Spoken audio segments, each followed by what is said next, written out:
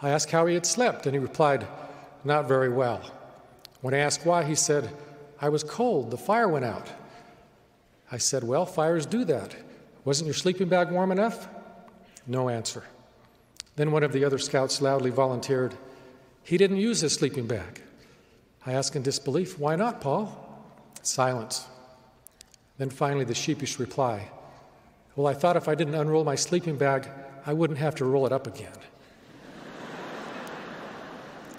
True story. He froze for hours because he was trying to save five minutes of work. We may think, how foolish.